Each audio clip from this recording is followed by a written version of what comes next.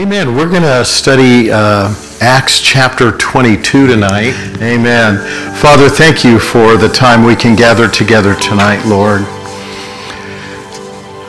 I sense that soon and very soon we're going to see your face, Lord. We're going to be eternally with you as a family in your kingdom. Lord, a lot of that is a mystery, even as you said in your word. Eyes have not seen, ears have not word, heard, either has it entered in the heart of man, the things that God has prepared for those who love him. But Lord, we thank you that you're preparing a place for us. And I pray tonight that we have prepared our hearts to hear what you have to say to us. So Lord, bless us tonight as we enter this study.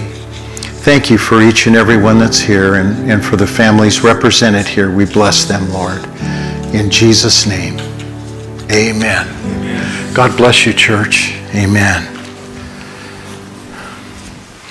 Acts chapter 22, and we're going to pick it up in verse 16. I'm going to go from uh, verse 16 through 30.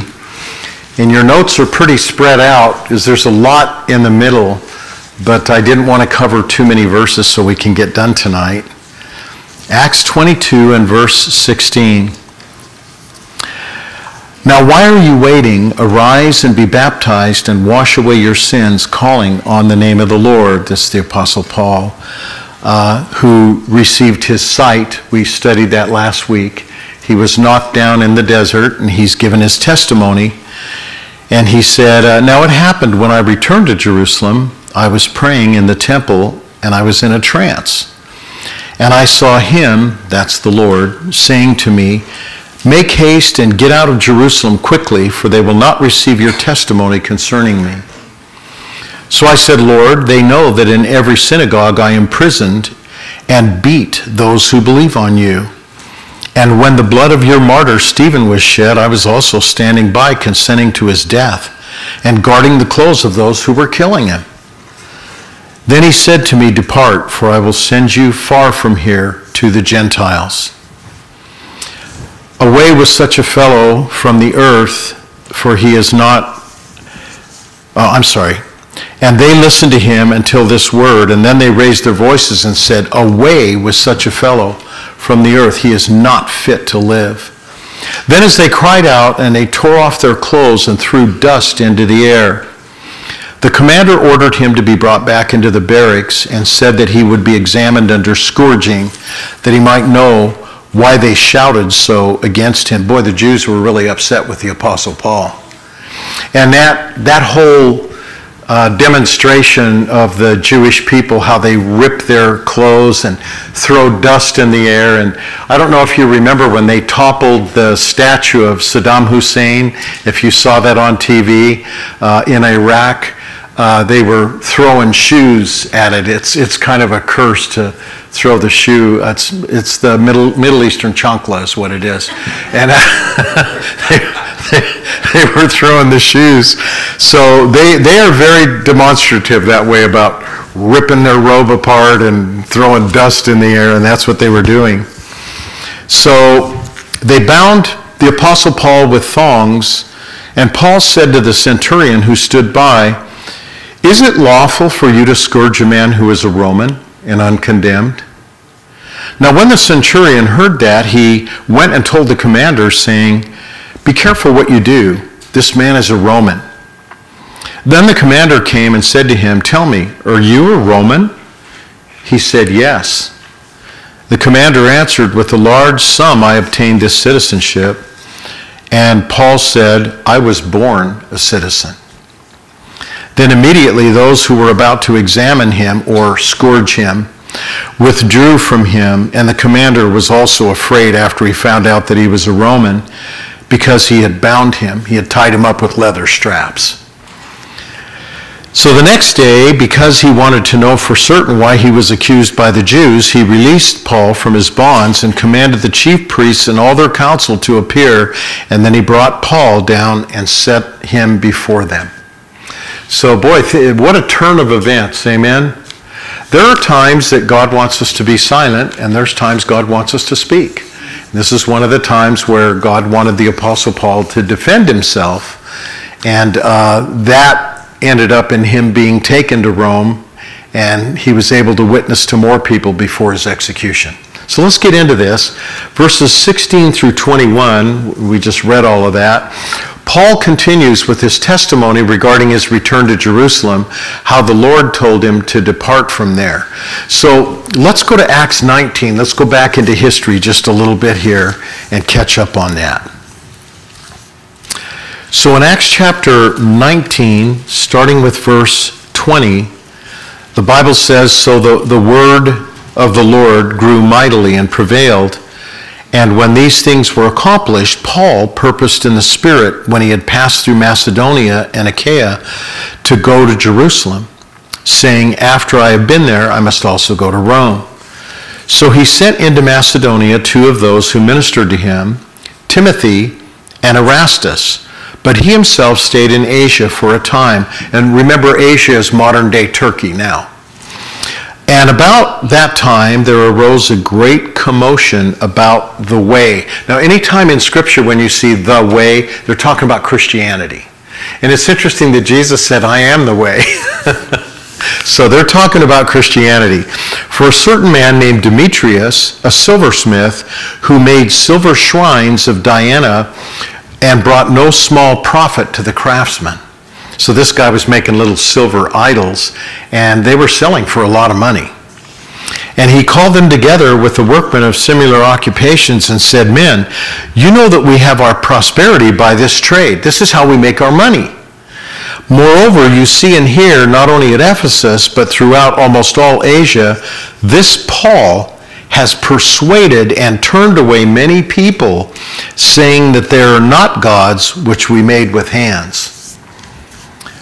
Not only so, uh, this trade of ours is in danger of falling into disrepute, but also the temple of the great goddess Diana may be despised and her magnificence destroyed, whom all Asia and the world worship. Boy, this guy was really deceived, wasn't he? The whole world was not worshiping Diana. But when the enemy gets a hold of someone, their, their discernment goes away. They can be so easily deceived. Verse 28. So when they heard this, they were full of wrath, and they cried out, saying, Great is Diana of the Ephesians. And then the whole city was filled with confusion, and rushed into the theater with one accord, having seized Gaius and uh, Arist- Aristarchus, Macedonians who were Paul's traveling companions. And when Paul wanted to go into the people, the disciples would not allow him.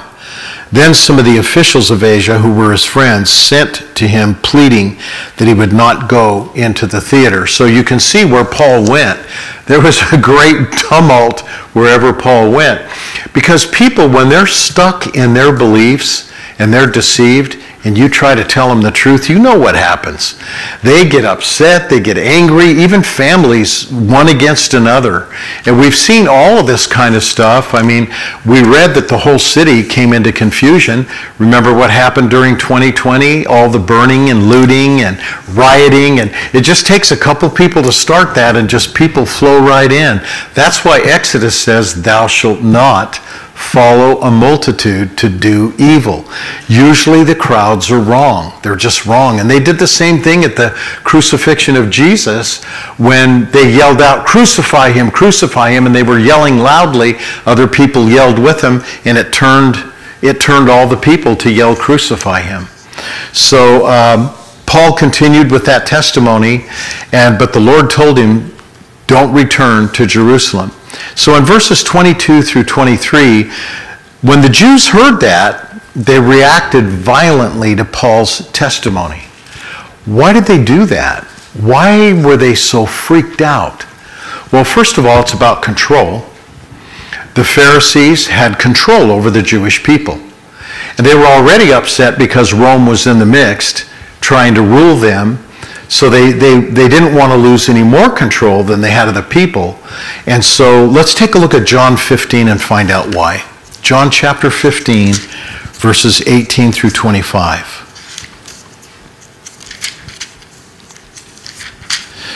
John 15, 18, Jesus promised this not only to his disciples, but to us. And sometimes I know we get disheartened and say, I, I, I don't understand why my family or my friends or my coworkers or, or people that I speak, why do they get so upset? Well, here's why. If the world hates you, you know that it hated me before it hated you. Okay, so let me describe this to you. If you're in a, you're at night and you get pulled over by a, a policeman, maybe your tail lights out or maybe you broke the speed limit, whatever. They shine that really bright light in your mirror so that you can hardly see at all. Okay? So when we share the gospel with someone who's in the darkness, it's like taking a flashlight and shining it right in their eyes. It, it, disturbs them, it upsets them. I know I used to get upset when people would try to tell me uh, that I needed to get saved. Uh, when you're not born again, everything that comes to bring you to the light is, quote, your enemy. But once we come to the light, then we can see clearly that's exactly what we needed all along. So Jesus said, If the world hates you, know that it hated me before it hated you.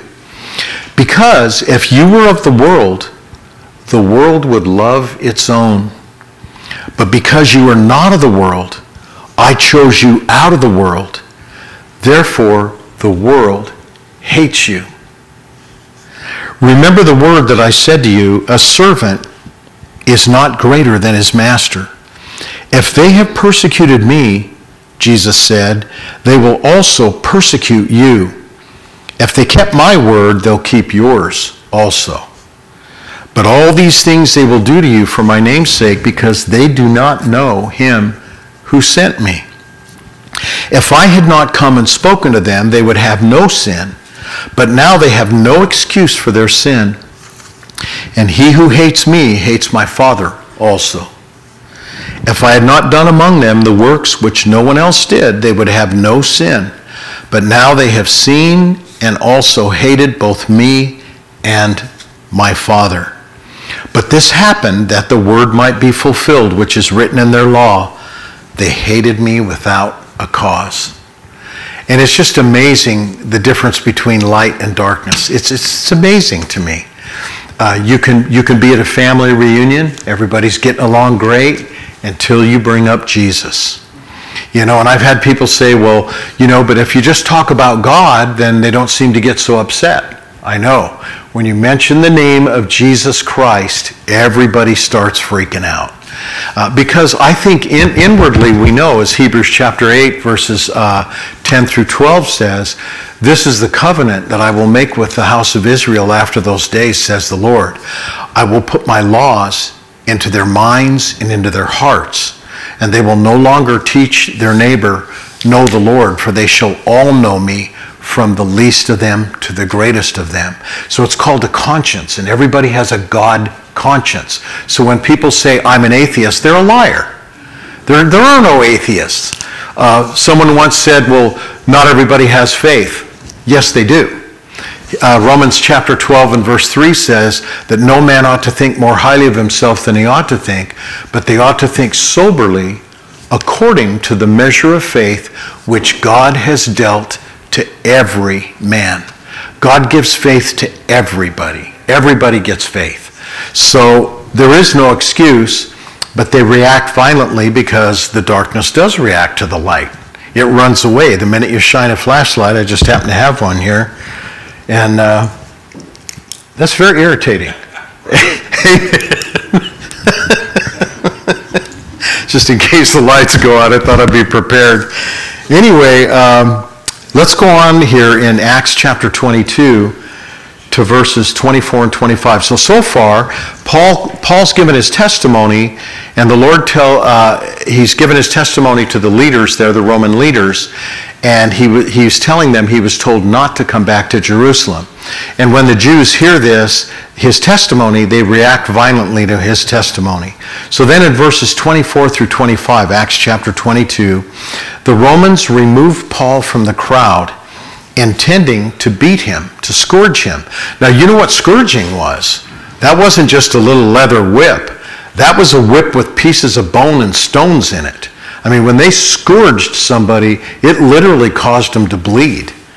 So they were intending to scourge him, but Paul asked a question to the centurion whether it was legal to scourge a Roman who, has, who is uncondemned. In other words, I haven't gone to court, I haven't been condemned yet. So he throws that out there, and Paul used this reasoning once before uh, with the Philippians jailer. So let's, let's read about that again, just as a reminder. Acts chapter 16. Love that story. This is the story when Paul and Silas were in jail and there was a great earthquake and all the chains fell off everybody and the jailer was going to kill himself because he thought all the prisoners were going to run away. And uh, Paul, uh, he came in trembling and asked this question What must I do to be saved? That is the question. So, Acts chapter 16, verse 25. The Bible says at midnight, Paul and Silas were praying and they were singing hymns to God, and the prisoners were listening to them. Even in jail, he was a witness. Even in jail. So there's a scripture in Colossians that says, whether you eat or whether you drink and whatever you do, it's also in 1 Corinthians, whatever you do, give glory to the Lord. So wherever we are, even in a restaurant, wherever we are, we're to give glory to the Lord. Um, I'm going to stop and tell you a story. I think you've heard this one before, but I'll make it quick. I was on a plane flight from Washington to California.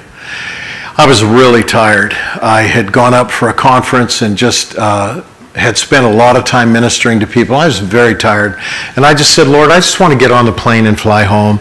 I just want to relax, so don't let me sit by anybody. God, God has a great sense of humor a Jesuit priest sat right next to me.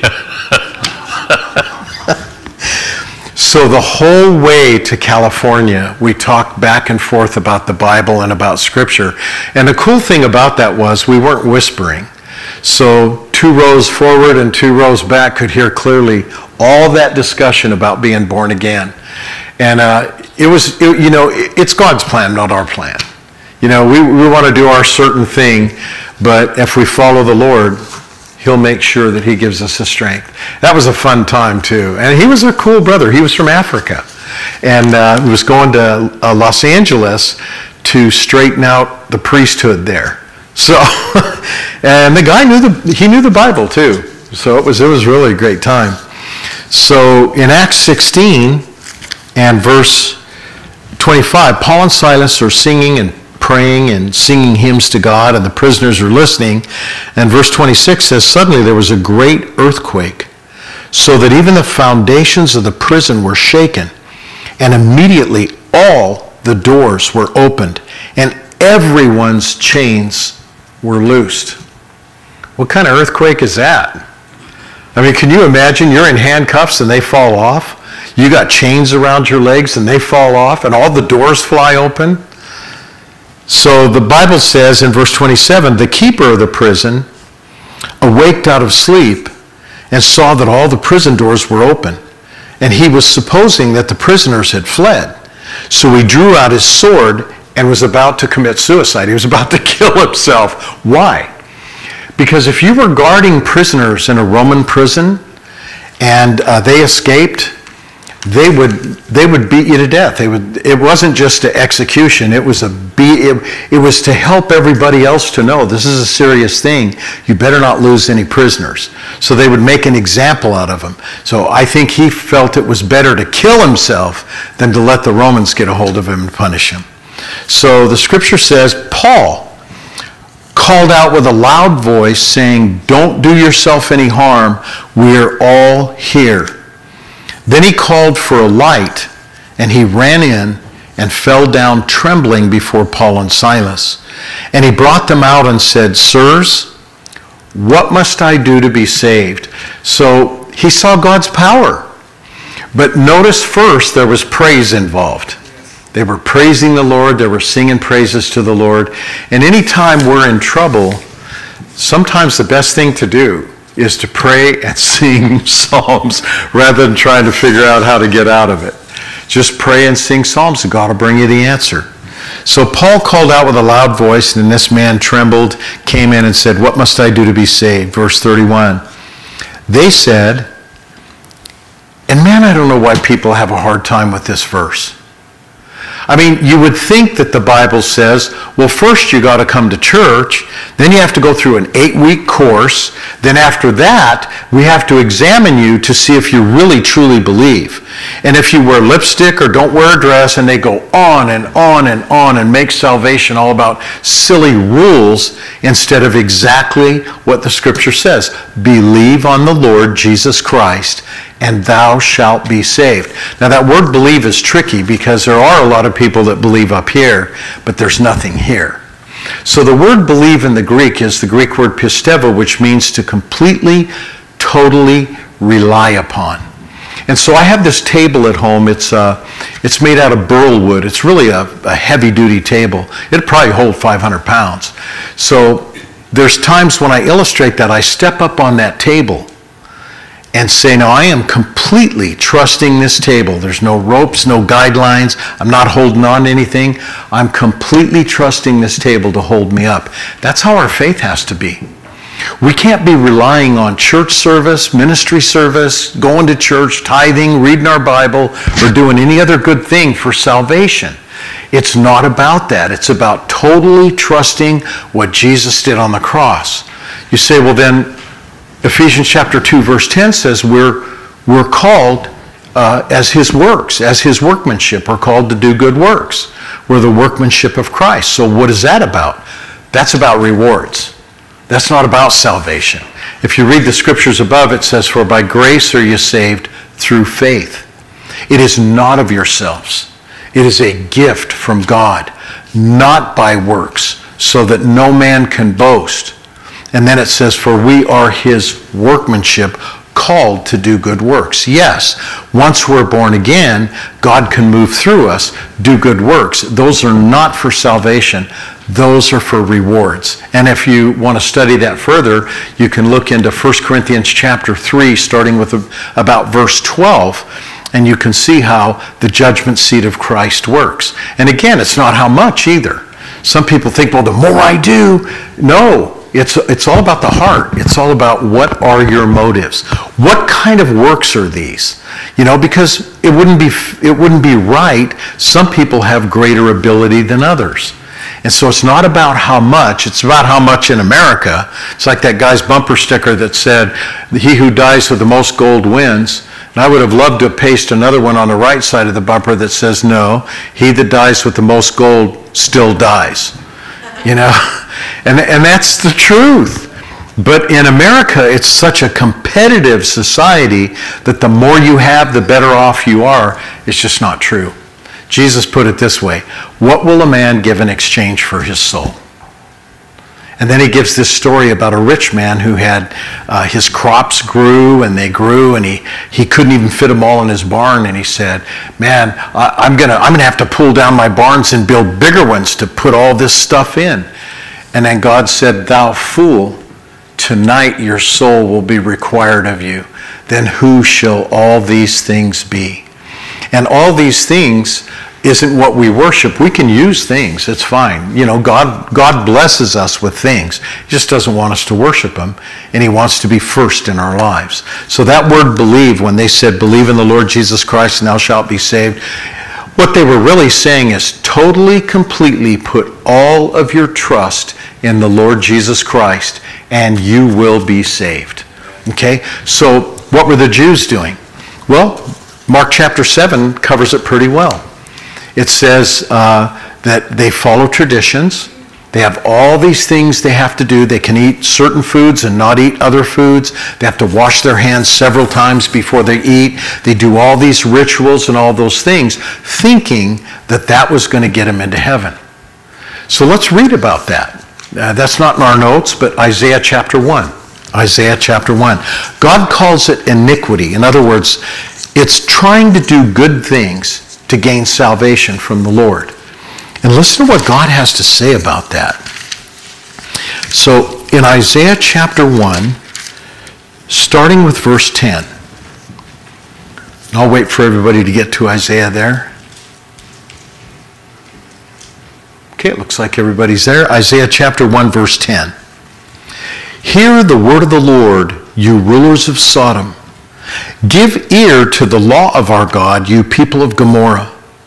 To what purpose is the multitude of your sacrifices to me? God is saying, give me a good reason why you're doing all these sacrifices. Okay? To what purpose is that?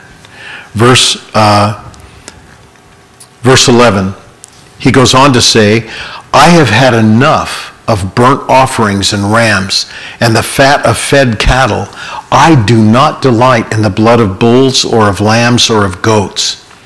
When you come to appear before me, who has required this from your hand to trample my courts? In other words, to step into my temple, okay? Bring no more futile sacrifices to me. Incense is an abomination to me. The new moon, I could get in trouble in the Greek Orthodox Church just with that verse right there. Because they got incense everywhere. You know that little thing that does the incense? Incense is an abomination to me. The new moons, the Sabbaths, and the calling of your assemblies. I cannot endure iniquity and your sacred meeting. Your new moons and your appointed feasts, my soul hates. They are a trouble to me. I am weary of bearing them. And when you spread out your hands, I will hide my eyes from you. Even though you make many prayers, I will not hear because your hands are full of blood.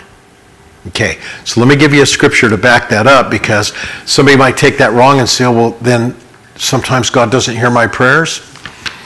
There's certain instances where the Lord says that in Scripture. One of them is Psalm 66:18. Psalm 66:18 says, "If I regard, and here's the same word as in Isaiah, if I regard iniquity in my heart, the Lord will not hear me." So again, iniquity is doing good things to gain salvation. The Bible calls it lawlessness, but it's, it's literally throwing off of God's grace and His law and doing your own thing to get to heaven. That's really the definition of it. And there's another place in Matthew chapter 7, we won't go there, but in Matthew 7, uh, Jesus uh, points out in the end days, many will come to him saying, Lord, Lord, didn't we do many wonderful works in your name? And in your name, didn't we cast out devils and, and prophesy and do many wonderful things? And he will say, Depart from me, you who work iniquity. I never knew you. So the Bible definition of iniquity is trying to do works to get favor with God, specifically for salvation. It won't work. So God gives the answer here in Isaiah chapter 1 he says, Wash yourselves, make yourselves clean. That's verse 16. Put away the evil of your doings from my eyes. So God is basically saying, Trust in my blood and repent from your sin. That's what he's saying. Repent and trust in the blood. Verse uh, uh, 17, he says, Learn to do good, seek justice, rebuke the oppressor, defend the fatherless, plead for the widow. Come now, let us reason together, says the Lord. Though your sins are like scarlet, they'll be white as snow. Though they are red like crimson, they will be like wool. If you are willing and obedient, you will eat the good of the land. But if you refuse and rebel, you will be devoured by the sword, for the mouth of the Lord has spoken. So God is telling them, be willing and obedient be willing to turn from your own devices to try to get into heaven and be washed in the blood of the lamb. You know he's, he's given a future the, uh, he, actually he's talking about ezekiel 36 26 where it says i will i will wash you with clean water. Well you know water's not going to wash away sin so he's obviously talking about the blood of christ. What can wash away my sin? Nothing but the blood of jesus. What can make me whole again nothing but the blood of Jesus. Amen? So, um, back to Acts 16, uh, verse. Uh, he asked them, What can I do to be saved? Verse 30. And they said, verse 31, Believe in the Lord Jesus Christ, and you will be saved, and your household. Now, there's a promise that we can hold on to as well. Because if the leader of the house gets saved, then the children will follow. Remember, children do what you do more than do what you say. And it's absolutely true. You know, we mimic what our parents do. Uh, we can say everything we want to say, but they watch what we do. Amen? That's what they do. So then they spoke the word of the Lord to them and to all who were in his house. And he took them the same night, same hour of the night, and washed their stripes. And immediately he and all of his family were baptized. So immediately, and man, I've gotten into it with some preachers that say, well, no, we don't baptize anybody unless they go through a class. Look, faith is between you and the Lord. Baptism is between you and the Lord too. I'm, I do not have God's heart to be able to judge your heart and see whether you mean it or not. Baptism is before the Lord. I just watched Frank's baptism last week. Uh, I was on YouTube and I thought, man, I'm going to watch those baptisms again. And that was glorious. You know, it's just glorious to see somebody out of their own will just come forward and say, I want to be baptized. Uh, so immediately, the, he and his family were baptized. Now, when he had brought them into his house, he set food before. This is the jailer. Okay? He brought food before them, and he rejoiced, having believed in God with his whole household. And when it was daytime, the judges or the magistrates sent the officers and said, Well, let those men go. So the keeper of the prison reported these words to Paul, saying, Well, the judges or the magistrates have sent to let you go. Therefore, go ahead and leave, go in peace. But Paul, Paul was so bold. Paul said to them, They have beaten us openly, uncondemned Romans. They've thrown us into prison, and now they want to sneak us out, put us out secretly. No, indeed. Let them come themselves and get us out. wow. So the officers told these words to the magistrates, and they were afraid when they heard they were Romans. Then they came and pleaded with them, please leave our city. And they brought them out and asked them to depart from the city. So they went out of the prison, they entered the house of Lydia, and when they had seen the brethren, they encouraged them and then departed. What a great story.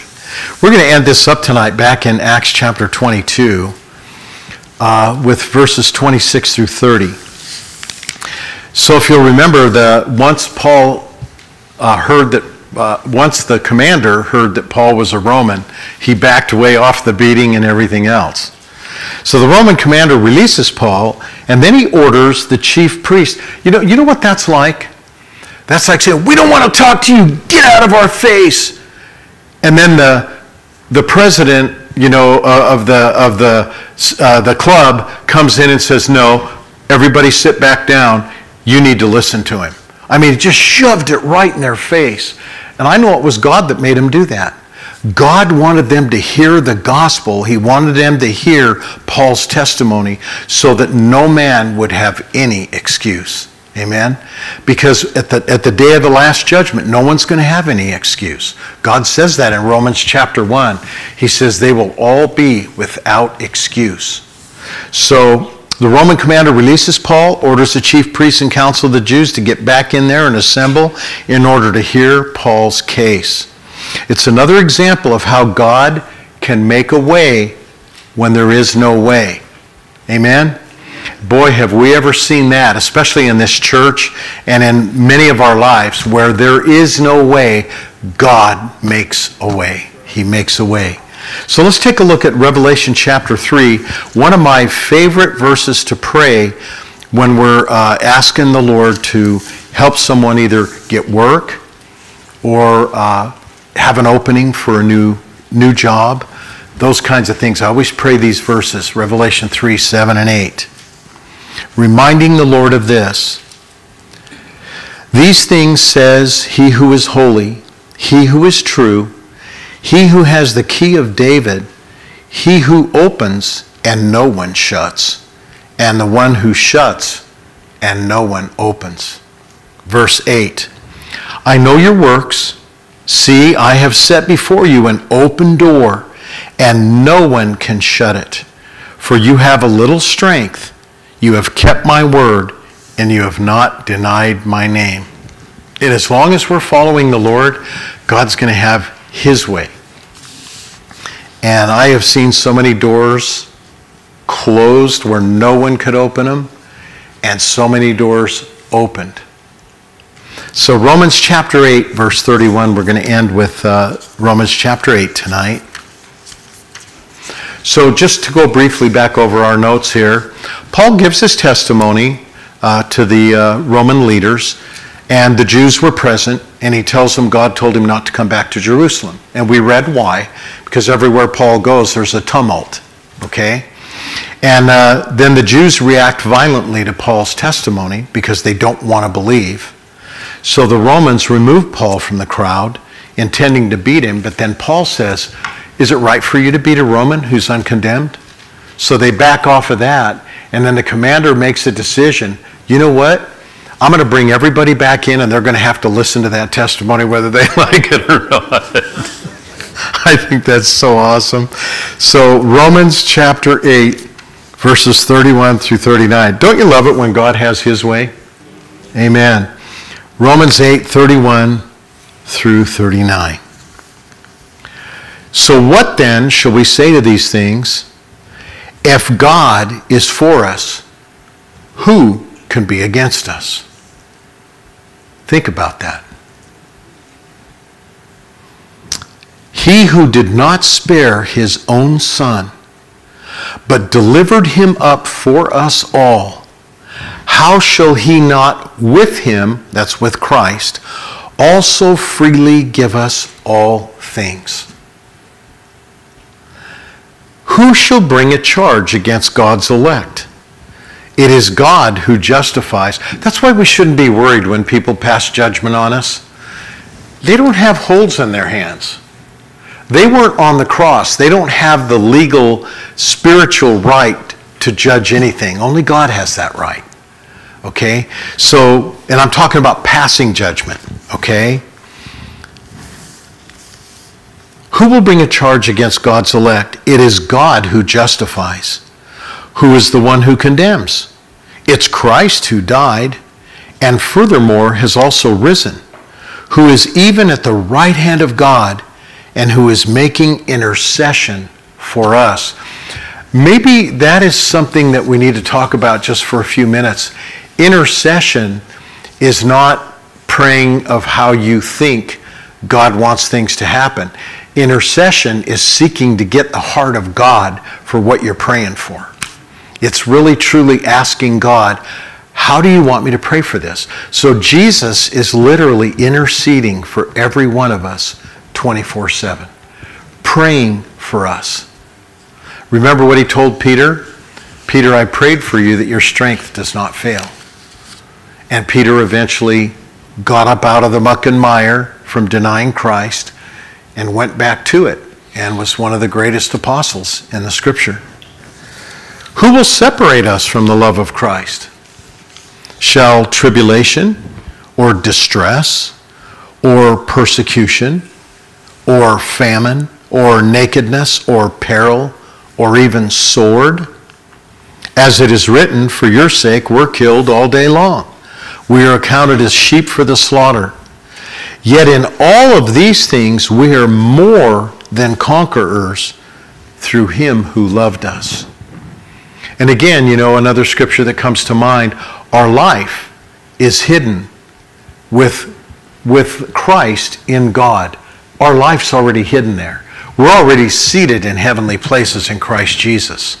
So we're just having to move through this life in order to get there.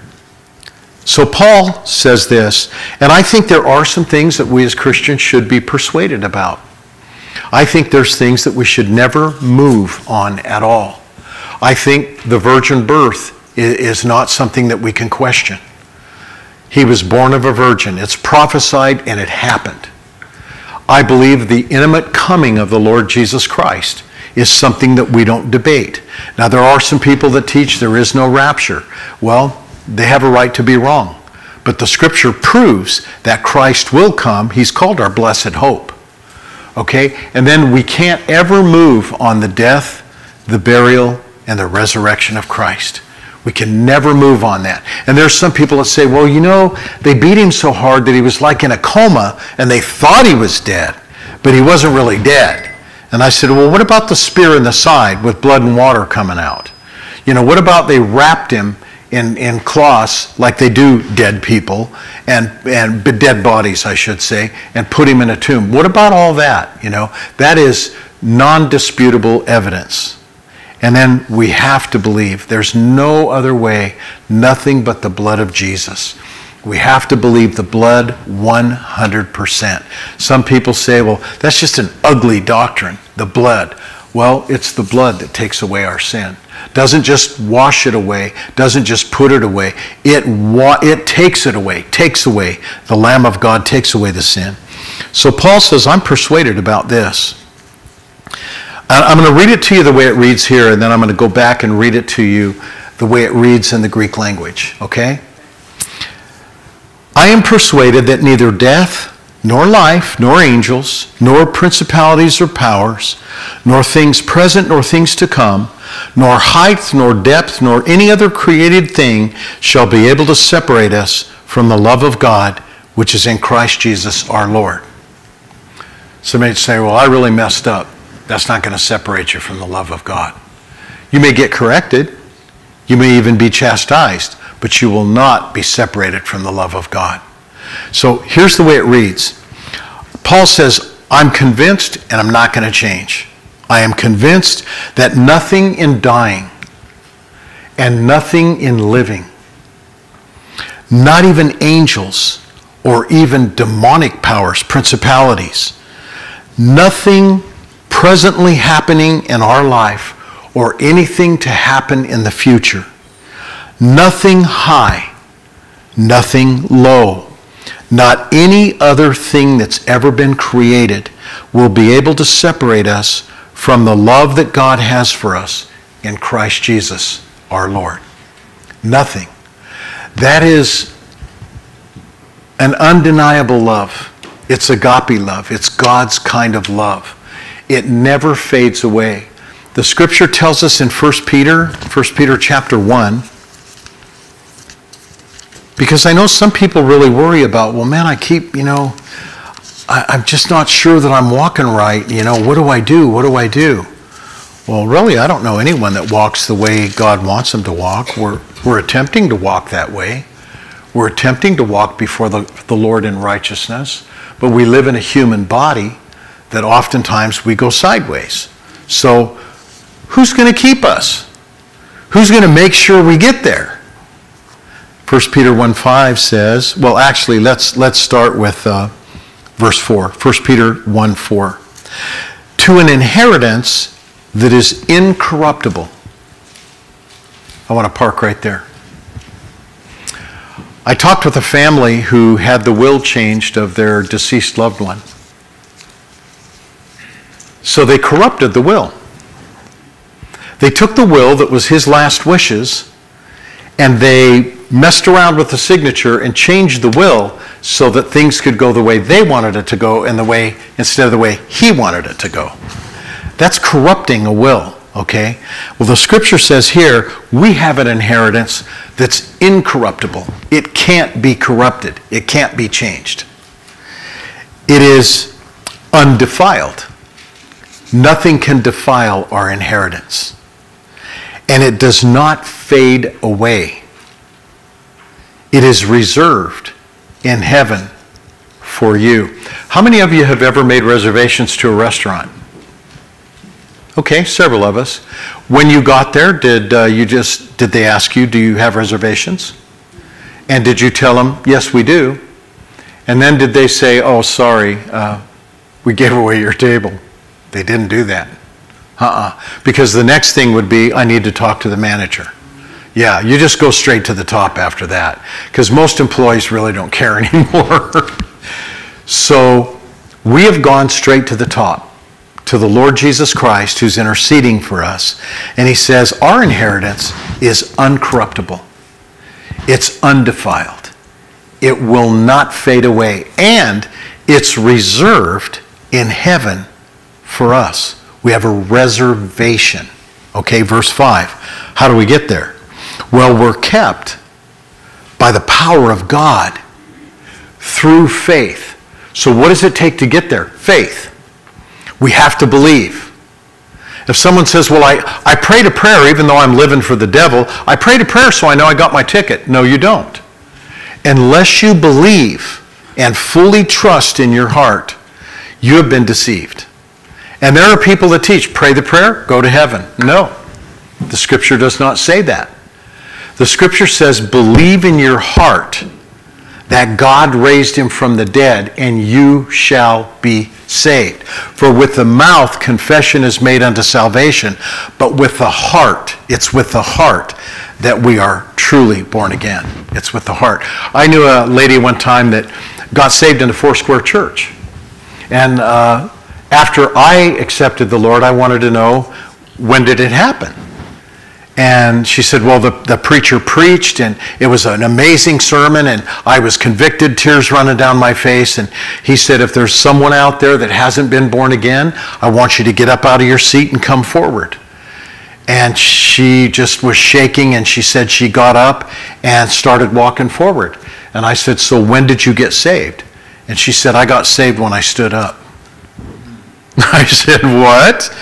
And she said, That's right. The Bible says, With the heart man believeth unto righteousness, and then with the mouth confession is made unto salvation. So she got saved when she believed, but she came forward and confessed publicly Jesus Christ in her prayer. So it's, it's the heart. It's the heart. That's what God looks at. So he says, You were kept by the power of God through faith unto salvation, ready to be revealed in the last time. So in this you should greatly rejoice, even though for a little while, if need be, you were grieved by various trials. We all go through trials. So how's it going to look when we get there? Now, we are going to be judged because of our works. Okay, our works, what motives we had, those are either going to receive rewards or loss of rewards. Okay, and that's very clear in Scripture. But how are we going to look when we get there? What, what, what are we going to look like? Well, turn with me to the turn with me to the book of Revelation and go one page to the left to the book of Jude. And this when I read this verse, it was like, really? And the Lord said, Yes. Yes, my word is true. Yes. So the scripture says in verse 24, and Jude only has one chapter, so if you want Jude chapter 1, verse 24, I just say Jude 24.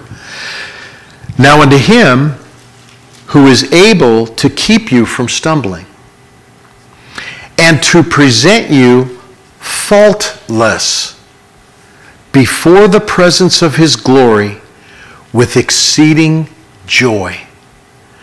To God our Savior, who alone is wise, be glory and majesty, dominion and power, both now and forever. Amen. He is going to present us faultless. There's nobody in this world that is faultless. There's nobody. We all have faults. We all have stumbling. You know, one of the clearest verses in Scripture that teaches us that, 1 John 1 9. If we confess our sins, so in other words, God's saying, if you'll fess up to what you know you did wrong, if we confess our sins, He is faithful and just to forgive us of our sins and to cleanse us from all our unrighteousness. So, what God is saying there is if you'll fess up to what you did, I'll not only forgive that, I'll forgive the stuff you don't even know about. I'll forgive the little stumbling blocks in your mind that you don't even know are a stumbling block. I'll forgive the things that you think that I hear all day long because God hears us 24 hours. You know, remember Malachi 3:16? He even those who think upon his name, he writes it down in a book. So God is is going to keep us. He's going to present us faultless. Amen. So David had that truth too. And you know, we all know, and we're not judging him, but Scripture teaches us that David did some things that were not quite right in the sight of the Lord, as we all do. But David wrote this because he knew who kept him. This is Psalm 121. David said, I will lift up my eyes unto the hills. From whence comes my help? Where does my help come from? My help comes from the Lord who made heaven and earth. He will not allow your foot to be moved. He who keeps you will not slumber. Not like the disciples who slumbered. Yeah, God doesn't slumber, okay? Behold, he who keeps Israel shall neither slumber nor sleep. For the Lord is your keeper. The Lord is your shade at your right hand. Do you know what that means? If you have shade on your right hand, that means somebody's standing really close to you. Amen? That means that he is right there all the time. The sun will not strike you by day, nor the moon by night. I really had to study that one out. I thought, well, the moon doesn't really affect me at all. He wasn't talking about the physical moon or the physical sun. He's talking about 24 hours a day. He's talking about whether the sun's up or whether the moon's up, that nothing will strike you. And then verse 7 the Lord will preserve you from all evil.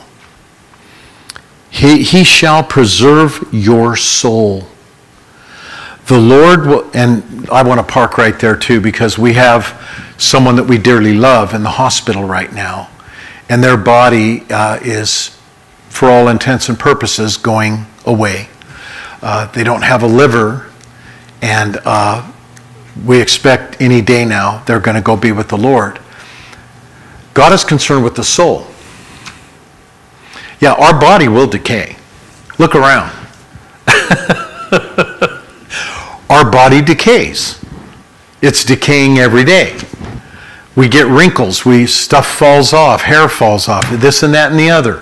But God is concerned with our soul. That last verse, the Lord will preserve your your soul, he will preserve your going out and your coming in from this time forth and even forevermore. His love is unthinkable. It's indescribable. It's a love that we can barely understand just a little bit of it. But God is a Father whose love never fails. And once we put our trust in Him and we continue to trust Him, continue to believe in Him, and that's what my message is for Sunday, uh, I want to close with uh, just one scripture that I put here, and uh, it's going to it's going to be called "Standing Firm in the Faith." Okay, standing for, it didn't say standing firm in the flesh; it said standing firm in the faith. Amen. So even a casual view of society shows us that people desperately need the Lord. Nobody's going to argue with that. So it's up to us, it's incumbent upon us to be faithful to share the good news. So the scripture says, Thanks be to God who has given us the victory through Jesus Christ our Lord. Therefore, my beloved brethren, be steadfast, immovable, always abounding in the work of the Lord, knowing that your labor is not in vain in the Lord. God says will bring forth much fruit. Amen. Would you stand with me? Um, it's another notable miracle. It's two minutes to eight. So, amen. Lord, we just want to thank you for your goodness. It's difficult for me to verbalize how deep your love is, how wide, how high. It's almost inconceivable, Lord. But we receive your love. We receive the gift that you've given us of eternal life. Father, I pray for anyone who might be listening on YouTube, even at this moment in this prayer, that if someone there does not know you, they may know about you, they may even have knowledge of you, But Father, without knowing you, without being born again, there's no hope of salvation. Only through the Jesus Christ the Lord. And I pray, Lord, that if there's anyone in that case that would hear this on YouTube or even here in, in the house tonight, that they would simply cry out to you and say, Lord God, I am a sinner and I turn from it right now. And I ask you, Lord God, to forgive me. I believe you are the Lord, Jesus. And I believe that you were raised from the dead. And I put my trust right now in the blood that you shed on the cross at Calvary for my salvation. Would you come into my life and save my soul and help me to follow you all the days of my life?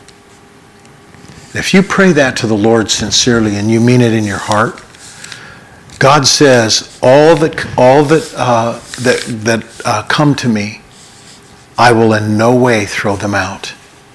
And so, Lord, I pray in Jesus' name that you will help all of us to remember what we've learned here tonight.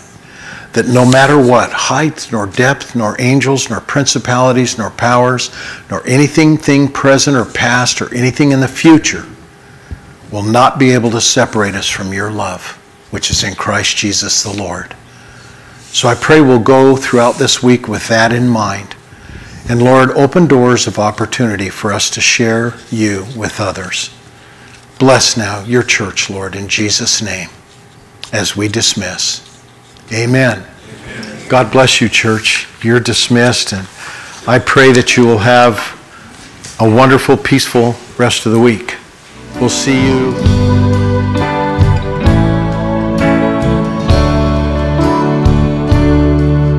You